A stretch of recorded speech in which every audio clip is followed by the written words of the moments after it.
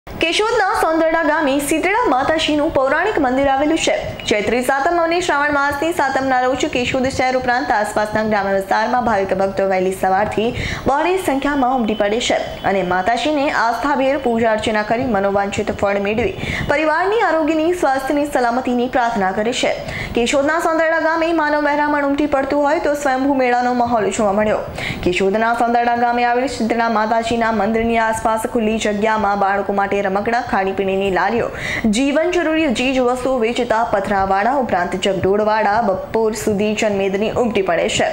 સનાતન હિન્દુ ધર્મના તમામ ગ્રંથોમાંથી સ્કંદ પુરાણમાં શીતળા માતાજી અંગેનું મહત્વનું વધુ વર્ણન છે. તેમાં જણાવ્યા મુજબ દેવી માતાનું આ સ્વરૂપ સૌથી ઠંડુ માનવામાં આવે છે. તેની પૂજા કરવાથી આ તમામ પ્રકારના રોગોથી મુક્તિ મળે છે અને સુંદર શરીર મળે છે. એવું પણ માનવામાં આવે છે કે જે વ્યક્તિ શીતળા સાતમના દિવસે માતાજીની પૂજા કરે છે તેનાથી જ નહીં, પરંતુ તેના સમગ્ર પરિવારના રોગો પણ રાણીની કૃપાથી નાશ પામે છે. કહેવાય છે કે ઈચ્છા ગમે તેટલી કઠિન કેમ ના હોય. જો તેને સાચા રીતે કરવામાં આવે તો તે પૂર્ણ થાય છે. જો આપણે તેમના સ્વરૂપ વિશે વાત કરીએ તો તેમના હાથમાં સાવડી, કળશ ચોપ અને લીમડાના પાંદડા દેખાય છે અને તેઓ ગધેડા ઉપર સવારી કરે છે. તેમના મસ્ત સ્વભાવને કારણે તેઓ શીતળા માતા તરીકે ઓળખાય છે. સામાન્ય રીતે જ્યારે આપણે મંદિરમાં જઈએ ત્યારે ભગવાનની મૂર્તિના દર્શન કરીએ.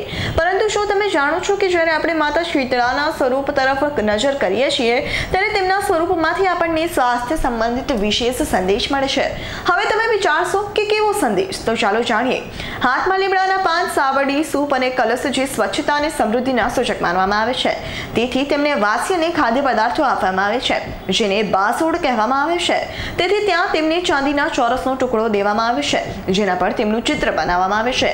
સામાન્ય રીતે ઉનાળા અને વસંત ઋતુમાં પૂજા કરવામાં આવે છે, કહેવાય છે કે આ ઋતુમાં રોગોના સંક્રમણની શક્યતા વધુ રહે છે. કેશોદના સૌંદરડા, પોલીસ દ્વારા સૌંદરડા શીતળા માતાના મંદિર આસપાસ વિસ્તારમાં અનિચ્છનીય બનાવ ન બને તે માટે પૂરતો પોલીસ બંદોબસ્ત ગોઠવવામાં આવ્યો છે. મારું નામ મનોજભાઈ ગોપાલભાઈ ચાવલ મારા પિતાજી રૂવા હતા ગોપાલ બાપા હતા પહેલાં. તે પણ એક્સપાયર થઈ ગયા હતા તેના સ્થાને હું છું, મનોજભાઈ. આ શુક્રામાના મેળાનું પરંપરા મારા દાદાના વખતથી ચાલી આવે છે. આ મહિનામાં, ચૈત્ર મહિનામાં, શ્રાવણ મહિનામાં બે મેળા ભરાય છે. ટોટલ ચાર સાતમના મેળા ભરાય છે અહીંયા. શ્રદ્ધાળુ તેની માનતા લઈને આવે છે.